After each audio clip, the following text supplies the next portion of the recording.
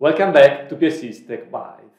Today I want to talk with you about a topic that I think is really interesting. In fact, have you ever wondered how many files uh, have you shared with someone else uh, or what kind of files are shared with you by others or stuff like that?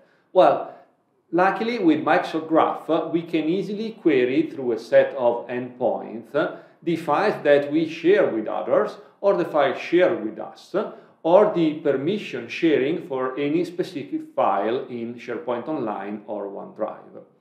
As such, you can easily create a dashboard, for example, using a SharePoint Framework web part or an adaptive card extension for Microsoft Viva Connections or a PowerShell script or a CLI script or whatever else you like in order to provide interesting and useful governance tools to your end users. So let me move to the demo environment and let me show you how to do that in practice.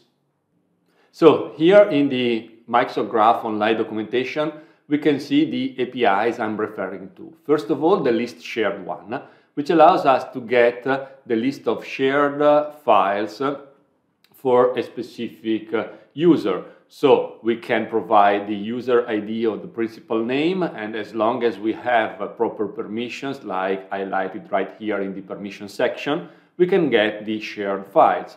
As well as we can use the shared with me uh, API, which allows us to get the list of files that are shared with the current user as well as targeting any item in the uh, OneDrive or SharePoint Online uh, repositories, we can get the permissions of that item, including the sharing permissions.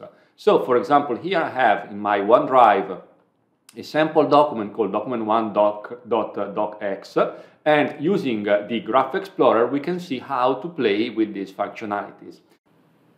So I can, for example, get the list of files that I shared with other people. I can simply say slash insights slash shared, and by running this query, I will get all the files that my user is sharing right now with other people.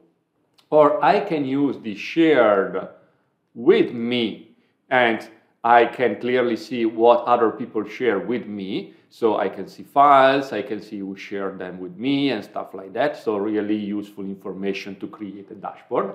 As well as uh, if we look uh, for a drive, for example, and for a specific set of items uh, in a, a, drive, like for example, we can get access to the children items of the root of my OneDrive, in here, if we place a filter based on the name of the file, for example, just to get the document one I showed you before, and here is the file that I'm looking for, I can simply say that for this item, if I get the ID, I can make an explicit query for that item instead of using the filter. And for that item, I want to see what the permissions are.